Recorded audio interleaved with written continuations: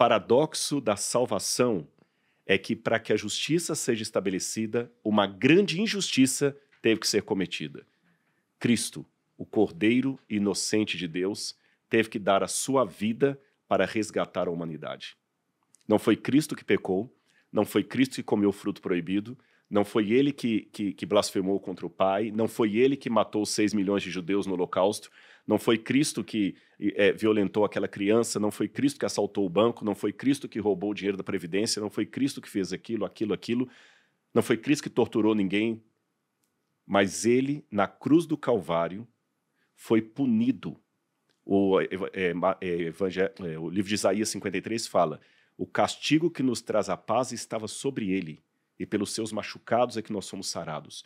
E Isaías mesmo viu que era uma coisa tão estranha que Deus estava mostrando para ele, alguém inocente morrer no lugar de uma humanidade toda condenada, que Isaías começa o texto falando o seguinte: quem creu em nossa pregação? Quem creu? Então, através de Jó, Deus está mostrando isso, filhos. Enquanto o mal perdurar nesse mundo, a injustiça também vai perdurar. E por que, que Deus não intervém?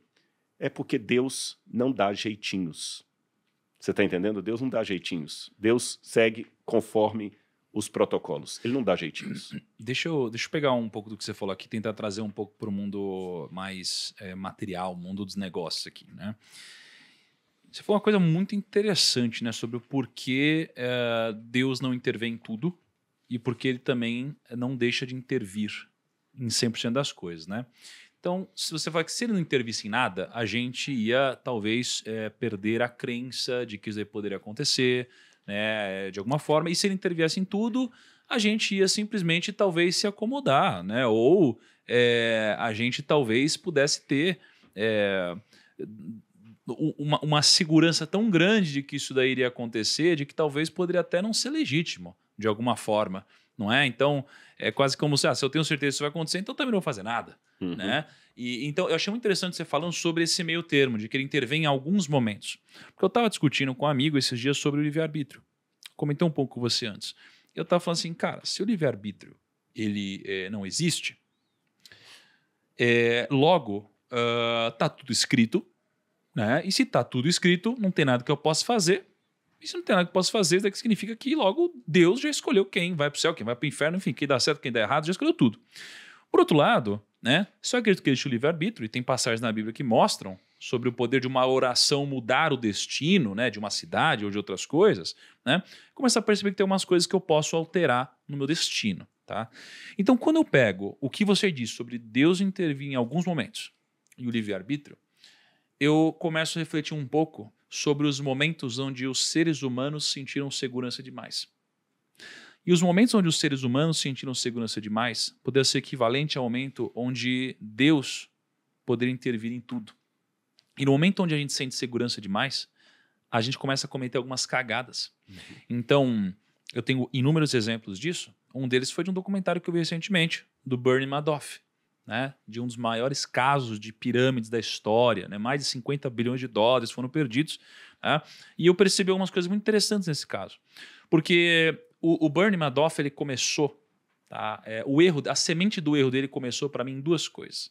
Ele, primeiro, uh, era um cara que queria agradar todo mundo, então ele queria ser amado por todo mundo. E aí passamos por uma grande crise. E aí, durante uma grande crise, ele não quis falar para os clientes que ele perdeu dinheiro e ele conseguiu um dinheiro para dar para os clientes. E ao invés de ele aceitar o fracasso dele ter tomado péssimas decisões e ter perdido dinheiro, ele preferiu dizer que através de uma tacada de gênio ele tinha conseguido não perder dinheiro para os clientes dele.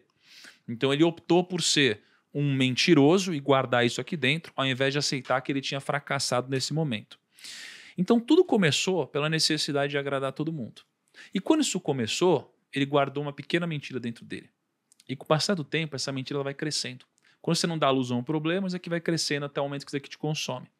E com o passar do tempo, o que começou a acontecer é que os clientes dele começaram a sentir muito confiantes no dinheiro que eles estavam ganhando. E ele, alimentando essa mentira, ele fazia os clientes acreditarem que eles estavam de fato ganhando dinheiro. E com o passar do tempo, os clientes ganharam tanto dinheiro por tanto tempo que eles ficaram cegos. E no momento que eles ficaram cegos pela certeza de que isso ia acontecer, eles começaram a perder completamente qualquer grau de julgamento. Até o momento onde eles se, se entregaram tanto que essa pirâmide ficou tão grande e que eles começaram a perder grana, porque a ganância os consumiu, né? Desejos humanos os consumiram.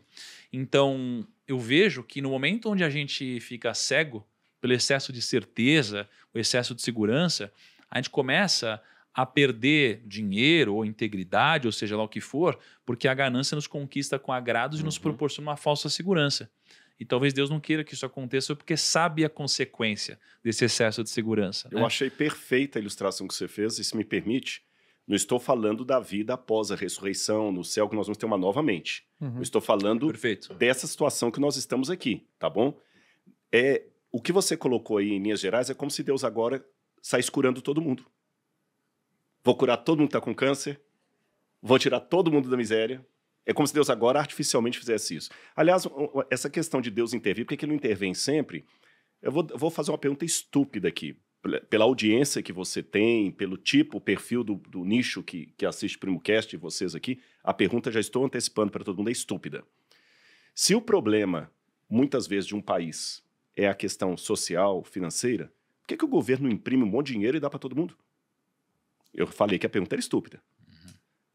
Eu, quando era criança, eu pensava assim, é só chegar na casa da moeda Uhum. Imprime dinheiro e dá para todo mundo. Tem gente que acha que é isso cara, tem hoje. político que ainda acha, que acha isso. Que é isso. não, eu não vou falar o nome do país é, por uma é, questão de ética, mas eu mesmo e Laura fomos a um país recentemente que o governo fez isso.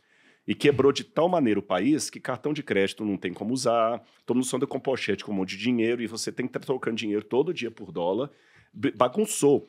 Então, uhum. se Deus saísse agora distribuindo milagre para resolver todos os problemas, é como se fosse, ou no exemplo que você deu, que eu achei muito didático, vou até pedir licença para usá-lo em alguma palestra, ou no exemplo também que eu, que eu dei aqui de imprimir dinheiro. Então, se o problema é que o pessoal não tem dinheiro, então todo mundo vai ter dinheiro. Vou dar aí, é, eu vou colocar agora na conta de todo mundo aí 100 mil reais por dia para você comprar o que você quiser. E o camarada vai lá, compra o carro, mas você sabe que nenhuma economia se sustenta desse jeito. Então, é por, isso, né? por isso que Deus também lhe age de acordo, entre aspas, com as leis do mercado.